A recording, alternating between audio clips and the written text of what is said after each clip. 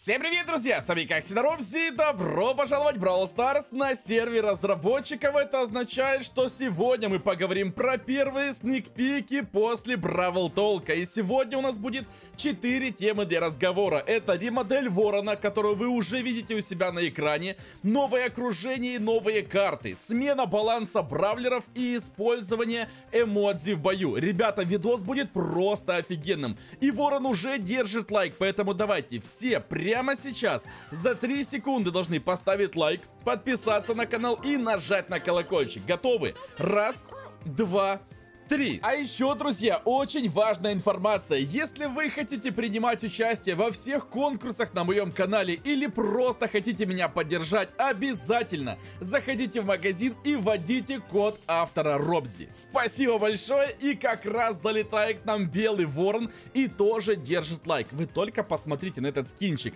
Это просто офигенная ремодель. Вот эта повязка на правом глазу. Вот это золотой значок на спине. Золотая цепь, ребят теперь это реально офигенный скин, который правда стоит 80 гемасов. У него необычная атака, у него сменена анимация. Да, обычный ворон бросает у нас кинжалы, а белый ворон бросает у нас перья. Ребята, это просто пушечка. Я все это сегодня вам покажу. Все расскажу, а сейчас мы плавненько переходим к следующей теме разговора. Это эмодзи в бою. И вы можете даже одну эмоцию выбирать любую, которую захотите. Ну, которую вы сможете выбить для себя. Смотрите смотрите, на выборе персонажей у нас есть 4 эмоции. Это счастье, это, получается, слезы, это злость и специальная эмоция. Не обращайте внимания на эмоцию Фрэнка, это небольшой баг, ее потом в игре не будет, поэтому не обращайте внимания.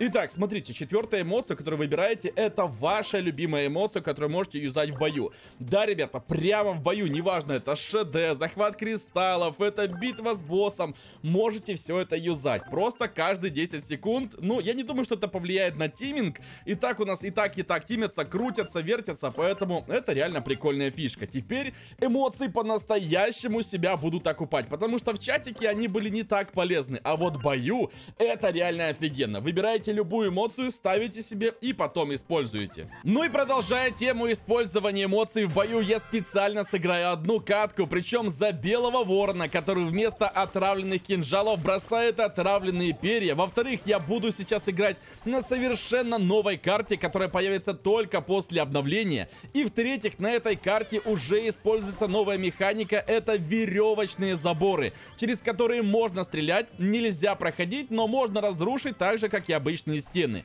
Итак, допустим, со мной кто-то хочет сейчас затимиться. Это вон тот Леон внизу, а я не хочу с ним тимиться, я, допустим, злой. Я не буду с ним тимиться, я хочу убить. Я просто нажимаю эмоцию, выбираю злого себе вороненка и говорю, нет, дружище, я с тобой тимиться тимиться не буду, а буду с тобой сражаться. Тем более у меня сейчас будет 6 банок, у тебя всего лишь одна, поэтому до свидания, пока, удачи. Кстати, держу в курсе, что эмоцию можно использовать один раз в 10 секунд. И если вы используете эмоцию в кустах, то ее никто не видит. Ну, только если кто-то к вам в упор подойдет, тогда да, он заметит вашу эмоцию в кустах. Поэтому используйте разумно, не слишком часто. Вот видите, Воронинок показал, что он будет плачет.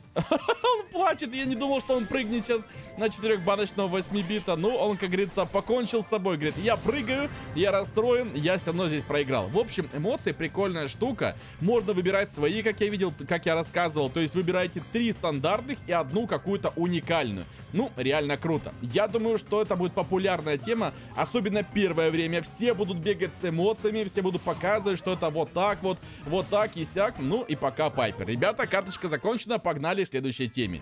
Ну и следующее, о чем я хотел бы с вами поговорить, это новые карты и новое окружение. Пока что ничего такого вы не замечаете, но если вы присмотритесь вот к этим картам, смотрите, скоростная закусочная, здесь уже совершенно новое окружение. Я, в принципе, могу вам показать его, но есть более куда интересные карты. Допустим, скоростной обгон. Как видите, тоже совершенно новое окружение. Здесь у нас вместо травы деревья и вместо заборов у нас стоит огромное здание. Переходим дальше дальше. Переходим дальше, видим с вами новые карты ШД. Какие именно? Давайте посмотрим. Вот эту, это просто прикол, это просто прикол от разработчиков. Это столкновение. Все вы знаете карту штольня, да? То есть все знают вот эту штольню карта, а это штольня наоборот. Причем здесь написано наоборот пещерные. Пещерная стычка. Если вы посмотрите на эту карту, это штольня. Только наоборот, в центре у нас свободно, а по краям у нас одни кусты. Мы сегодня затестим эту карту. Дальше у нас новая карта, разборка у реки. Просто офигенная, очень открытая карта. Я думаю, что много мини-игр мы здесь будем делать. Дальше, я не знаю, призрачные тени была, не была, но скорее всего тоже этой карты у нас и не было. Дальше, яичная скорлупа, тоже совершенно новая карта. Блуждающий огонек, ребята, еще одна новенькая карта. Блин, как же это круто. Долина кого? Долина победителей. Этой карты тоже не было. Ребята, куча, куча новых карт. Зеленое ущелье мы сегодня уже с вами смотрели. Была раньше карта 1000 озер, теперь называется 2000 озер. Ее тоже переделали. Ну и еще одна карта называется схватка на арене. Также у нас новые карты ограбления. Видите, вот такая вот. Кстати, нет, это не новое, это просто, скажем так, с новым окружением. Дальше новое окружение, награду за поимку. Это кремовый торт. Скрытая угроза тоже совершенно все новое. Кстати, давайте все-таки вам покажу одну карту. Допустим, пускай это будет кремовый торт. Выглядит она просто пушечно. Вы посмотрите, вот эти вот деревья, вот эти вот домики, можно использовать их как прикрытие. Раньше вы прятались за камнями, а теперь вы реально прячетесь за домами. То есть где ты спрятался? Я спрятался за домиком. Кстати, я неудачного бравлера выбрал. Ну ладно, пускай будет ворон так ворон, потому что меня сейчас будут все убивать. Нет, нет, нет, нет, нет, нет, нет, нет, нет. Да, ребята, кстати, у мистер Пи будет по-другому работать его ульта. Я расскажу позже, когда мы будем говорить о балансе. Совершенно новый баланс бравлеров. Я об этом с вами еще поговорю. Но сейчас мы смотрим новенькую карту. Так, подожди, нужно как-то на, зафармить. Зафармим. Так, все, у меня есть три звездочки. Ну, мы пока побеждаем. Мы пока побеждаем, но боты будут сражаться, поэтому нужно набивать звезды дальше. Так, убиваем его усиление. А, он же не использует гаджет. Боты же не любят использовать гаджеты, то есть телепортироваться он, кстати, не будут. Видите, видите, боты используют эмоции в бою. Увы, увы, пока что нет такой возможности здесь использовать эмоции в бою в тренировке с ботами, но у вас, ребята, такая возможность будет, как только выйдет обновление. То есть не волнуйтесь, все это будет в игре, все будет красиво, все будет классно. Я думаю, в принципе, вы посмотрели это окружение, я не знаю, нравится вам, не нравится, мне кажется, реально офигенно. Так, я тут ворвался, просто убил несколько человек.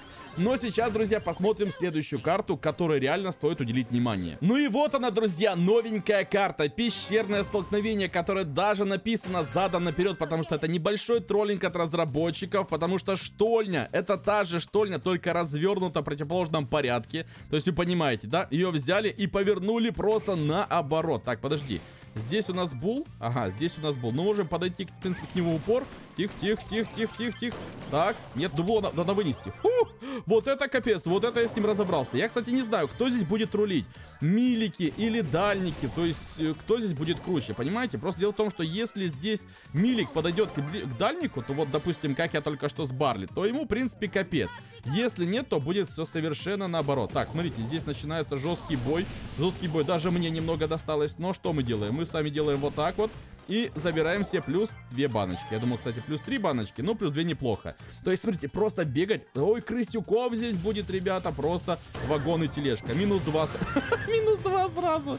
Ну, Шелли, как всегда, в своем репертуаре. То есть, видите, здесь Шелли у нас выступает в роли крысюка. Но если дальник зайдет в центр, то, возможно, ближники даже не смогут к нему подобраться. Потому что в центре стоит у нас небольшое озеро кислотное, которое можно оббегать. Ну и дефаться по кругу. Интересно, где наш последний боец? Кстати, видите, я не могу использовать эмодзи здесь, но, ребят, в настоящей игре можно будет использовать эмодзи, это просто тренировка с ботами. Ну и следующая тема для обсуждения это изменение баланса бравлеров, причем очень жесткое изменение 8 бравлеров. И первое это Гейл, которого коснулось 3 изменения, и первое это основная атака. Вы только посмотрите, теперь он стреляет маленькими, но зато шестью шариками, которые наносят колоссальный урон. Посмотрите, если я попадаю вот так, 2240, а если если все попадают шарики 2700 урона. Come on, 2700. Теперь не попасть очень сложно. Да, кстати, здесь можно использовать эмоции прямо в бою. Здесь у нас показано. Вы прикиньте, какая атака стала жесткая. Все шарики. Ну, если не всеми попасть, допустим, 1700. Допустим, 1300. Если попадают все, даже не все 2240, а все 2700, это просто жесть. Дальше. Гейл больше не отталкивает себя с ног при активации супера. То есть раньше вы отталкивали врага и себя, но теперь Гейл остается на месте. Гейл больше не отскакивает. Это очень круто. Я не знаю, Гейл реально теперь имба. Я думаю, что его в дальнейшем пофиксят, но сейчас он стал имбой. И третье изменение это увеличение дальности супера отталкивания. Вы понимаете, как это жестко? То есть ему поменяли основную атаку, сделали жестко. Ему поменяли супер. Теперь он очень и очень жесткий бравлер. Посмотрите, как он фигачит. Просто атаками разваливает на ура. Ребята, это Гейл. Дальше будет еще интересней. Следующий бравлер это Нани. Я знал, что ее должны были пофиксить, причем пофиксить в лучшую сторону. Это просто жесть. Теперь это такая имба. И мне кажется, что теперь нужно наоборот ее фиксить. Рассказываю почему. Во-первых, ей повысили жизни с 2400 до 2600 на первом уровне. Но это все фигня. Вы посмотрите на ее атаку. Во-первых, дальность атаки. Вы помните? Раньше она стреляла в точку. Теперь смотрите, что с атакой. Она разлетается. Она бьет и дальше разлетается. То есть вы можете сделать вот так. Вот так вот делаете, и атака разлетается. Вы посмотрите, то есть вы даже не попали ни в кого, но атака все равно попадает. Вы прикиньте, вы посмотрите, это просто жесть. Это такой чит. Я, я скажу сразу, я тестил. У сейчас, у Нани атака дальше, чем даже у Джина при разлете. Вы посмотрите, докуда она достает. Вы посмотрите, докуда долетает атака. Она просто жесткая. Джин бьет меньше. Реально, я не говорю о том, что уже Пайпер бьет меньше, а Джин, даже когда разлетаются его патроны, меньше дистанция. Это просто такая имба. Я очень хочу играть теперь за Нани. В бою я уже тестил ее с ботами. Это просто такая машина для убийства. Возможно, даже мы сегодня с вами затестим, но будет позже. Повесили хп и улучшили атаку. Раньше попасть было практически невозможно. Теперь попадать, я, мне кажется, сможет даже, не знаю, я кота посажу за свой планшет, и он будет попадать, играя за Нани. Это просто любимый перс автоатакеров станет. Погнали дальше. Третий бравлер, которого коснулись фиксы, это Динамайк. Вроде бы ничего такого, но на самом деле это тоже очень сильное изменение. Смотрите, когда юзаешь гаджет, скорость бега у Динамайка тоже увеличивается, понимаете? Теперь во время использования гаджета он, во-первых, двигается, во-вторых, его скорость движения увеличится, и он может от кого-то даже убежать, примерно как Карл. Только Карлу нужно использовать использовать ульту, а Динамайку просто включить гаджет и сваливать, причем бросая кучу-кучу-кучу гранат. Ребята, это офигенное тоже изменение. Я думаю, что самое незначительное изменение баланса из этих всех бравлеров это изменение Джина, потому что здесь всего лишь поменяли ХП. Причем в меньшую сторону. Джина немножко пофиксили. На первом уровне у него было 3600, теперь 3400. Я думаю, здесь ничего такого нет, поэтому переходим дальше. А это, друзья, настоящая боль, потому что Джеки уже фиксят просто в 700 раз, и ее снова пофиксили. Причем еще жестче. Во-первых, ей уменьшили здоровье на первом уровне с 5200 до 5000. Это первое. Во-вторых, ей урезали гаджет. Теперь скорость бега составляет не 30% скорости, а всего лишь 20. Ну и вернули одно использование гаджета. Раньше было 2, теперь 3 раза. Ну, блин, опять, по опять пофиксили. Опять пофиксили хп, опять пофиксили гаджет. Чтобы вы понимали, в самом начале гаджет когда только Джеки вышла, давал 38% скорости. Понимаете, 38, а сейчас 20. Сделали 30, потом 20. Но это очень жесткий фикс. Мне жалко Джеки.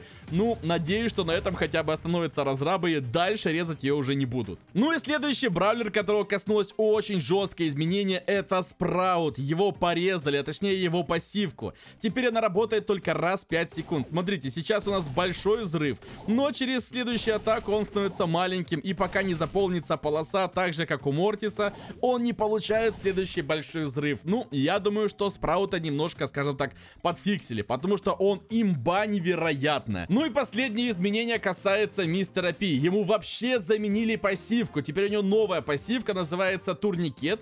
По в бою роботы-носильщики возражаются на 3 секунды быстрее. Это намного полезнее, чем давать бесполезное хп для этих роботов-носильщиков. Вот такие, друзья, у нас сегодня сегодня были сникпики, скоро будет еще больше, поэтому обязательно ставьте лайки, подписывайтесь на канал, жмите на колокольчики, чтобы не пропустить. А на этом все, с вами был как всегда Робзи, увидимся в следующей серии, всем удачи и покедова!